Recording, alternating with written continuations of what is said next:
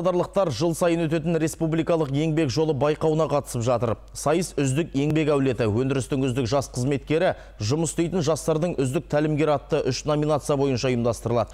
Павлодар облысы барлық үш аталымға үміткер ұсынды. Олардың қатарында ұстаздық жолды ата кәсіп еткен Оспановтар әулеті де бар. Бұл әулеттің жалпы еңбек өтілі 225 жыл.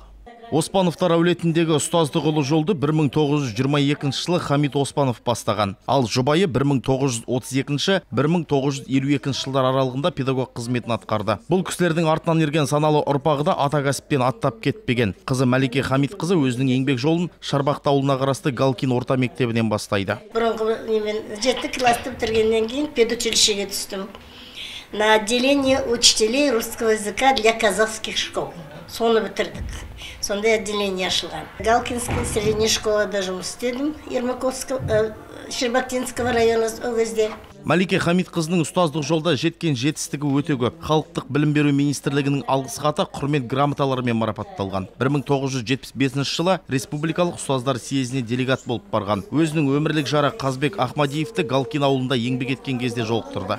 Содан енді қызмет бабымен жолдасым директор школ болдық. Барлық колхоздағы школдарды араладық енді. Ол кезде директорлерді үш жылдан артық бір жерде ұстамайтын ауыстырып отыратын. Сонымен енді қазбек солай. Ол кісі математик болған семейдің пединститутын бітірген. Ұстаз деген ауыр жүкті арқалай жүріп, отағасы екеуі үш қыз, екі ұл тәрбиелеп өсіреді. Ұлдары техникалық саланы таңдағанымен, қылықты қыздары педагогтар династиясын жалғастыруды көздеген. Ана көрген тон пішер демекші Майгүл мен Баян, бірі орыс тілі мен әдебиетінің, бірі математика пәнінің мұғалімдері. Я вышла из династии педагогов. Мен педагогтар династиясынан шыққанмын. Бұл мамандық бізге атадан балаға мирас болып қалды десек те болады. Сондықтан ата аманатына қиянат жасамай, әрі қарай жалғастырып отырмыз. Мен ата-анам мен ата әжемнің ұстаздық жолды таңдағанына қуанамын. Бұл екінің бірінің қолынан келе бермейді. Біздің әулеттің еңбек өтілі тікелей есептейтін болсақ 225 жыл, ал жалпы алғанда 470 жыл. Свою профессию. Хамит Оспановтың шөбересі Шолпан Ахмадиева да осы салада қызмет атқарады. Құданың өзін құдай қосады демекші, бұл әулеттің құдалары да бұл бағыттан алыс емес. ол кісі менің құдағиым көп жыл бірге қызмет істеп құдағи болмай тұрып та араласқан дәм тұзымыз араласқан адамдарымыз қазбек ағамен артынан бауырым ақлият пен майгүлім